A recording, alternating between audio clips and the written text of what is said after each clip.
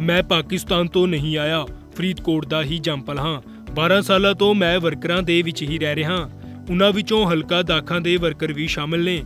ਇਨ੍ਹਾਂ ਗੱਲਾਂ ਦਾ ਪ੍ਰਗਟਾਵਾ ਹਲਕਾ ਦਾਖਾਂ ਤੋਂ ਕਾਂਗਰਸ ਦੇ ਉਮੀਦਵਾਰ ਕੈਪਟਨ ਸੰਦੀਪ ਸੰਧੂ ਨੇ ਪੱਤਰਕਾਰਾਂ ਨਾਲ ਗੱਲਬਾਤ ਕਰਦਿਆਂ ਕੀਤਾ। ਟਿਕਟ ਦੇ ਐਲਾਨ ਮਗਰੋਂ ਦਾਖਾ ਵਿਖੇ ਪਹੁੰਚੇ ਕੈਪਟਨ ਸੰਦੀਪ ਸੰਧੂ ਨੇ ਪੱਤਰਕਾਰਾਂ ਦੇ ਨਾਲ ਗੱਲਬਾਤ ਕਰਦਿਆਂ ਹੋਰ ਕੀ ਕਿਹਾ, ਆਓ ਸੁਣਦੇ ਹਾਂ। ਮੈਂ ਵਰਕਰਾਂ ਦਾ ਤਹਿ ਦਿਲੋਂ ਸ਼ੁਕਰੀਆ ਅਦਾ ਕਰਦਾ ਜਿਨ੍ਹਾਂ ਨੇ ਇੰਨਾ ਜੋਸ਼ ਨਾਲ ਮੇਰਾ ਇਸਤਕਬਾਲ ਕੀਤਾ ਮੇਰਾ ਸਵਾਗਤ ਕੀਤਾ ਹੈ। ਦਾਖਾ ਹਲਕੇ ਤੋਂ ਟਿਕਟ ਮਿਲੀ ਹੈ ਜੀ? ਦਾਖਾ ਹਲਕੇ ਜਾ ਰਹੇ ਹੋ। ਅੱਜ ਪਹਿਲਾ ਦਿਨ ਹੈ ਤੁਹਾਡਾ। ਵਰਕਰਾਂ ਦੇ ਨਾਲ ਮੀਟਿੰਗਾਂ ਵੀ ਹੋਣੀਆਂ ਨੇ। ਦਾਖਾ ਹਲਕੇ ਦੇ ਵੀ ਦੌਰੇ ਕਰਨੇ ਨੇ। ਬਿਲਕੁਲ ਕਰਨੀ ਜੀ। ਹੁਣ ਦਾਖੇ ਦਾ ਬਣ ਗਿਆ ਤੇ ਦਾਖੇ ਦੇ ਕੰਮ ਕਰਨਾ। ਹਾਂਜੀ। ਪਰ ਪਰ ਅਯਾਲੀ ਸਾਹਿਬ ਦਾ ਕਹਿਣਾ ਹੈ ਕਿ ਅ, ਜਿਹੜੇ ਕੈਂਡੀਡੇਟ ਉਤਾਰੇ ਗਏ ਨੇ ਉਹਨਾਂ ਦਾ ਦਾਖੇ ਦੇ ਨਾਲ ਕੋਈ ਗੱਲ ਸੁਣ ਮੇਰੇ ਭਰਾ ਮੈਂ ਪਾਕਿਸਤਾਨ ਤੋਂ ਤਾਂ ਆਇਆ ਨਹੀਂ। ਜੰਪਲ ਫਰੀਦਕੋਟ ਦਾ ਹੈ। 11 ਸਾਲ ਵਰਕਰਾਂ 'ਚ ਹੀ ਰਿਹਾ ਦਾਖੇ ਦੇ ਵਰਕਰ ਵੀ ਉਹਨਾਂ 'ਚੋਂ ਸੀਗੇ।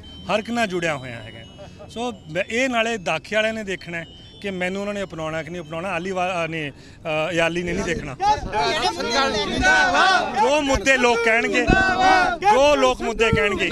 ਜ਼ਿਕਰਯੋਗ ਹੈ ਕਿ ਵਿਧਾਨ ਸਭਾ ਹਲਕਾ ਦਾਖਾ ਤੋਂ ਕਾਂਗਰਸ ਦੀ ਟਿਕਟ ਤੋਂ ਚੋਣ ਮੈਦਾਨ ਵਿੱਚ ਉਤਰੇ। ਕੈਪਟਨ ਸੰਦੀਪ ਸੰਧੂ ਦਾ ਦਾਖਾ ਪਹੁੰਚਣ ਤੇ ਕਾਂਗਰਸੀ ਵਰਕਰਾਂ ਨੇ ਜ਼ੋਰਦਾਰ ਸਵਾਗਤ ਕੀਤਾ ਜਿੱਥੇ ਉਹਨਾਂ ਨੇ ਦਾਅਵਾ ਕੀਤਾ ਕਿ ਹਲਕਾ ਦਾਖਾ ਦੇ ਲੋਕ ਜਿਹੜਾ ਵੀ ਕੰਮ ਕਹਿਣਗੇ ਉਸ ਨੂੰ ਉਹ ਪਹਿਲ ਦੇ ਆਧਾਰ ਤੇ ਹੀ ਕਰਨਗੇ। ਲੁਧਿਆਣਾ ਤੋਂ ਤਰਸੇਮ ਭਾਰਦਵਾਜ ਦੀ ਰਿਪੋਰਟ, ਡੇਲੀ ਪੋਸਟ, ਪੰਜਾਬੀ।